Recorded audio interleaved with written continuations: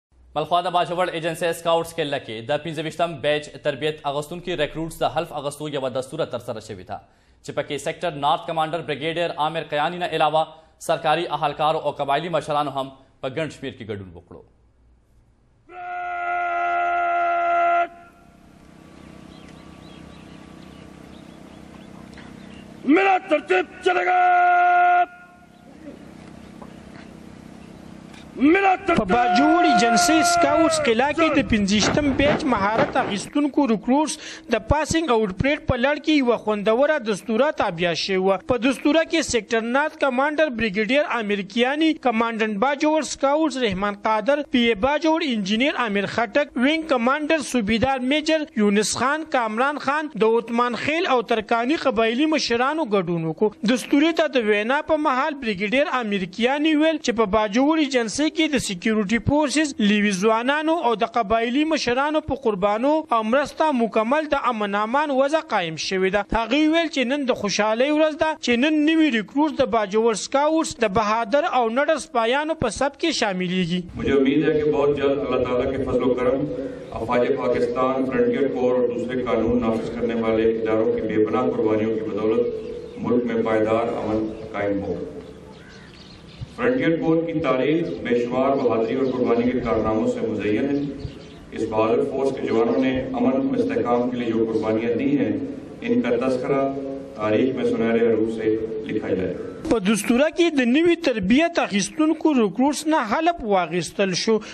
بریګیډیر امیر کیاني په دغه موقع نوي مهارت اخیستونکو ته په بهتر کارکردګۍ انعامونه ورکړل. د کیمره مین منصور خان سره محمد سلیم مشرق ټي وي باجوړ ایجنسي.